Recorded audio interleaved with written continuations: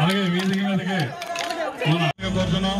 అలాగే మన చోడవరం ఎంఆర్ఓ గారిని వేదిక మీదగా రావులుగా కూర్చున్నాం.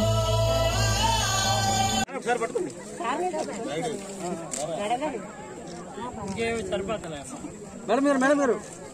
Okay sir. ఒకసారి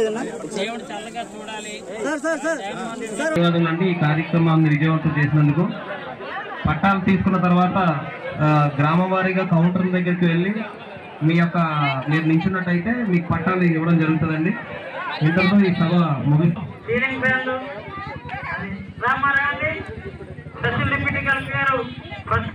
వీరు పట్టాలు ఇస్తూ చోడవరం ఒక మండలంలోనే తొమ్మిది పంతొమ్మిది వందల డెబ్బై డెబ్బై మూడు పట్టాలు కూడా ఈరోజు మా చేతుల మీద పంపిణీ చేయడం చాలా అదృష్టంగా నా జన్మ చరితార్థమైందని మాత్రం ఈ సందర్భంగా తెలియజేస్తున్నా.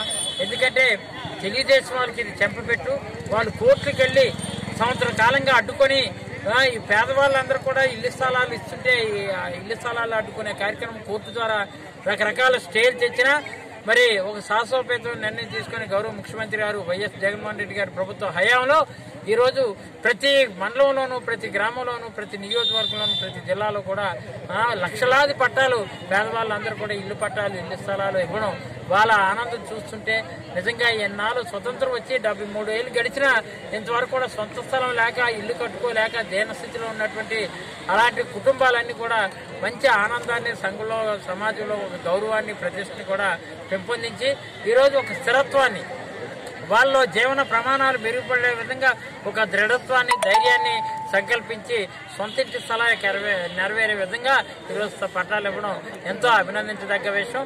అందరూ కూడా అంచేతే హర్షాతిరేకాలు ప్రకటిస్తూ సంక్రాంతి సంబరాలు ఈరోజే వచ్చాయి.